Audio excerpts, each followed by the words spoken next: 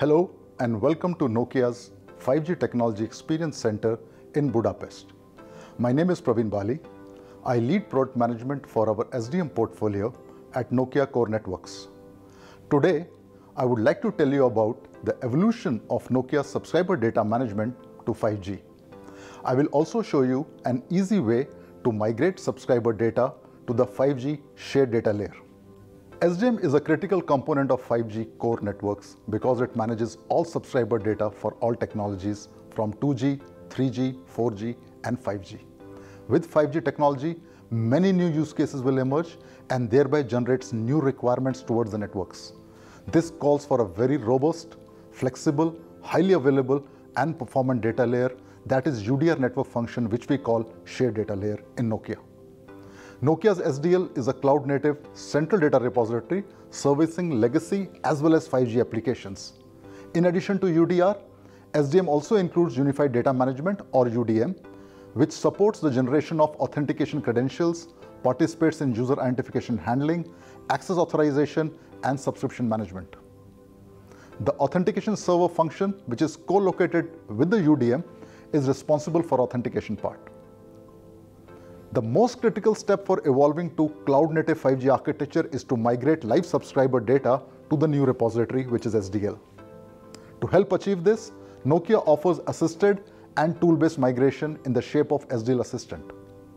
The SDL Assistant is also supports additional use cases, for example, performing audits of the system, generating revenue-generating assurance reports, subscriber rebalancing in SDL, and health check reports. Now let's look at an example to show how SDL Assistant works in practice. Let me show how to migrate subscriber data from one NDS to SDL. On the SDL Assistant screen, first select the task called Migration from one NDS to SDL. Then the subtask Subscriber Migration to SDL. Now we simply choose which subscribers to migrate. The input is submitted as a CSV file that can be generated in several ways. Let's look more closely at how that works. Choose the parameter-based search only option and select the parameters that fit your desired selection criteria. This creates a CSV file that can be used for migration. Now we can configure the source and the destination for our migration. Choose the extract and load subscribers option and add the correct source and destination. In this example, the source is 1NDS and the destination is SDL. Then we enter the required parameters for both source and destination such as passwords, server addresses, and security levels. Finally, we define the type of migration reports we want. Now let's launch the job. And here you can see the result. The migration status is shown in the interface and in the graphs.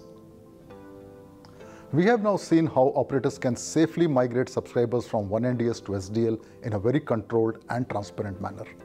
Yet that's not end of the story because SDL Assistant offers much more. There is a long-lasting core solution that will become indispensable for monitoring and diagnosing your SDL and the data that is stored in. Thank you for watching.